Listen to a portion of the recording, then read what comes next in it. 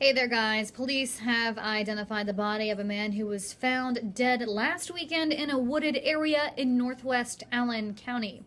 Meanwhile, more controversy continues on the treatment methods for Fort Wayne's water system, and that's dripping into Huntertown.